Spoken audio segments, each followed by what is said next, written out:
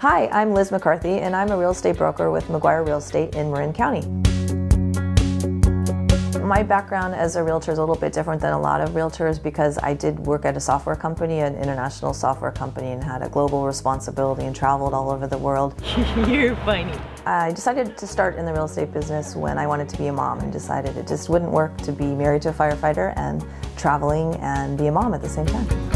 I know it feels so official because we signed today. One, two, three. Yay! 2010, where the economy, as everybody knows, isn't that great at the moment. I had my best year ever, and I was actually ranked in the top 5% of all agents in Marin County, which also classified me as a top producer within my company at McGuire. Most of my clients tend to be families. They come from San Francisco, they have one child, maybe two, they're pregnant with their second child, and they've realized that they need to get into our school district here. And I made that same move myself from San Francisco, so I'm really well versed to talk about it. A, a typical foggy day in the city where you can see the fog kind of hanging over the city and look at Tiburon. And in fact, I've been doing some home buying seminars for Marin for people from San Francisco.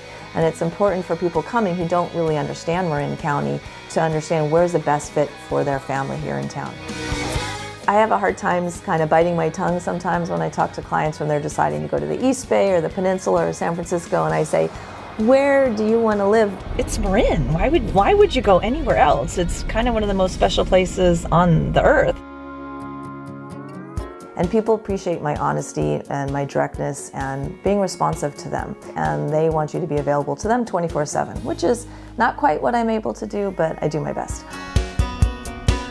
And then I have a five year old daughter who is a twin, and her twin sister did pass away. They were born 14 weeks prematurely, and they both weighed a pound and 10 ounces at birth. Wow, that's just I can't even imagine. They're very, very, I mean, basically if you imagine your wedding ring, it fit all the way over my daughter's foot. She was on a ventilator to help her breathe for the first six weeks mm -hmm. of her mm-hmm. life, which I was not allowed to hold her. You could just Aww. put your hands on her and right. that's all you can do.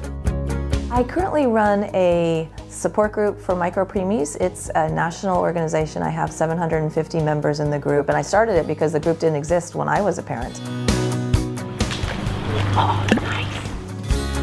I'm an uh, ePro certified agent. ePro means that you're an internet expert. It really is important to sell the homes that I'm listing using technology. The next level now is video. Video is how houses are being showcased. It's how people are looking a moving picture with words and, and music sells so much more than just a still picture.